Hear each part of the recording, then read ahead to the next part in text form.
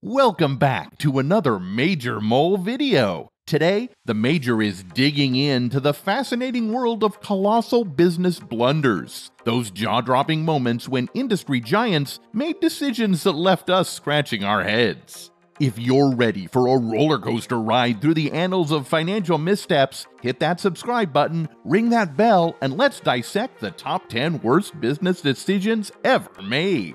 Number 10, the AOL Time Warner merger. Let's kick things off with a bang the colossal merger of the century between AOL and Time Warner in 2000. Picture this AOL, once the internet behemoth, dreaming big and deciding to tie the knot with Time Warner, the titan of old media. At a staggering $350 billion, it was hailed as the largest merger in business history. However, as the ink dried and celebrations echoed, little did they know that a storm was brewing. The dot com bubble burst, internet stocks plummeted, and the online advertising market nosedived. The result? About $100 billion in stock value wiped out, making the AOL Time Warner merger a standard business school case study for the worst merger ever. Ouch. Moving right along.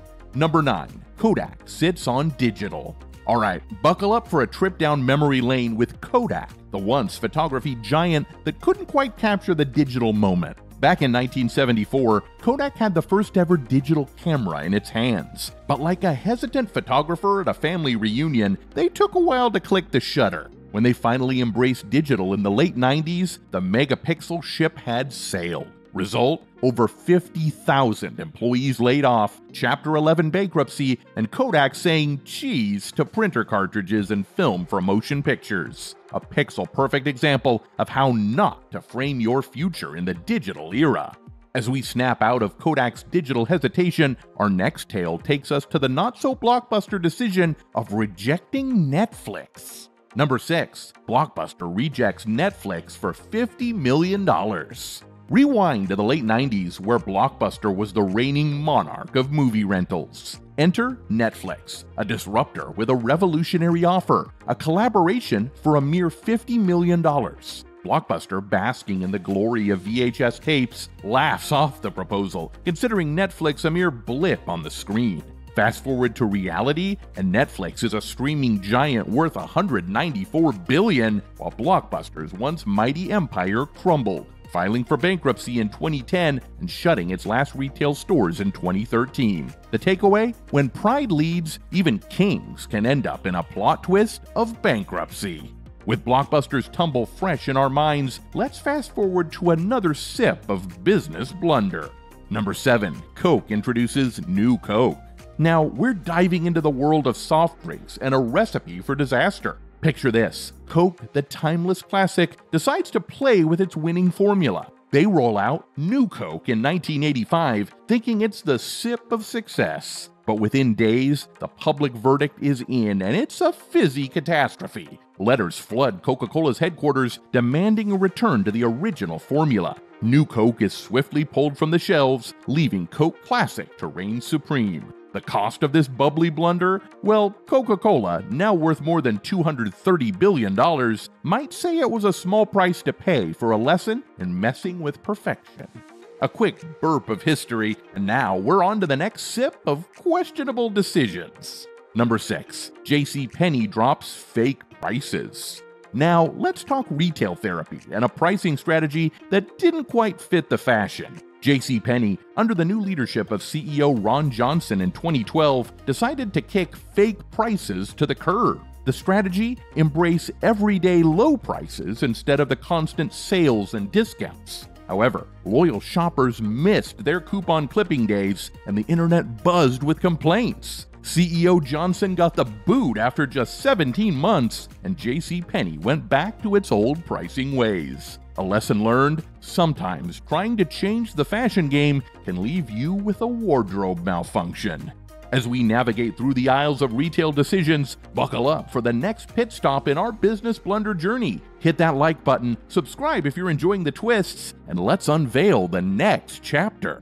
Number 5. Western Union hangs up on the telephone. Now, let's rewind to a time when telegrams ruled the communication kingdom. Western Union, the messenger of choice, had a chance to embrace Alexander Graham Bell's telephone invention in 1876. But alas, they couldn't envision a world where people would ditch telegrams for these expensive, grainy sounding contraptions. Fast forward to today, and Western Union is now synonymous with money transfers, while Bell's telephone empire thrived. As we disconnect from Western Union's telephone troubles, let's dial into the digital age with a decision that echoes through cyberspace. Number 4. Excite passes on Google for $750,000. Picture this it's 1999, and the internet is still in its awkward teenage years. Excite, a web portal, had the chance to scoop up Google for a mere $750,000. Yes, you heard that right. The powerhouse we now know as Google was available for less than the price of a decent house. But Excite shrugged it off, thinking Google's search technology was just a passing fad. Fast forward to today, and Google is a tech behemoth valued in the trillions. Excite, on the other hand, is a forgotten relic in the internet graveyard. The moral? Sometimes a small investment can lead to colossal gains, or you might find yourself lost in the digital wilderness.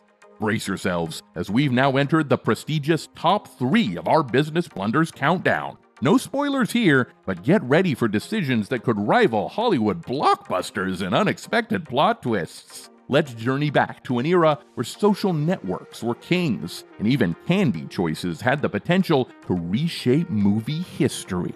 Number 3. E.T. could have been eating M&Ms.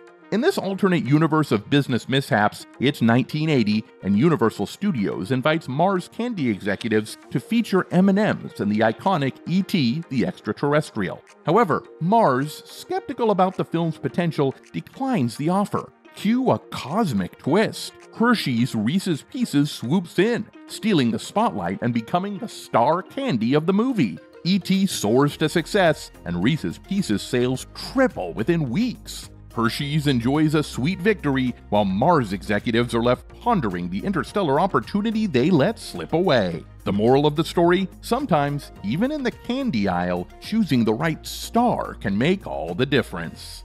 As we scale the summit of business blunders, get ready for a decision that left its mark on the digital terrain. We're diving into a time when MySpace reigned supreme and the social media landscape was still finding its groove. Number 2. Rupert Murdoch buys, nearly kills MySpace. Now, picture this Rupert Murdoch, media mogul extraordinaire, acquires MySpace in 2005 for a whopping $580 million. But instead of propelling it to greater heights, his grand plans led to MySpace's downfall. As Facebook soared, MySpace stumbled, eventually selling for a fraction of its purchase price in 2011. Murdoch even confessed on Twitter that they screwed up in every way possible. The lesson in the social media realm is not just about the buy in, it's about orchestrating a digital symphony that keeps the audience tuned in. As we arrive at the pinnacle of business blunders, get ready for a decision that not only fumbled the ball, but also changed the game. We're about to unravel the top spot where Monday Night Football became a cultural phenomenon and a seemingly routine business proposition turned into a costly oversight. Number 1. NBC and CBS get sacked by Monday Night Football. Now, let's rewind to a time when sports entertainment was a far cry from the 24 hour juggernaut it is today.